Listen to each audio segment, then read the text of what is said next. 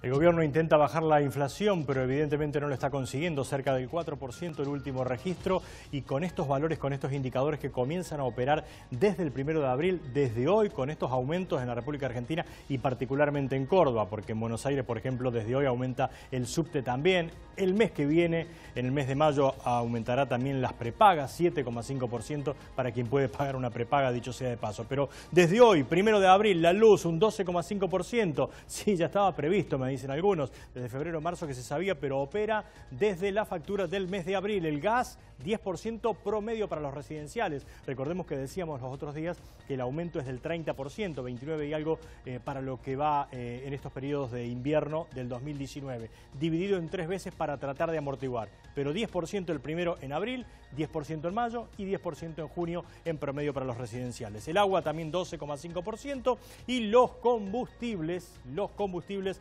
9,8% Action y Shell que aumentaron el fin de semana y PF cierto un poquito menos, nos llegó al 5%. ¿Pero por qué destaco combustibles? Porque me parece que allí está uno de los problemas más importantes porque esto se va a ver reflejado, el aumento de los combustibles sí o sí en las góndolas en los próximos días.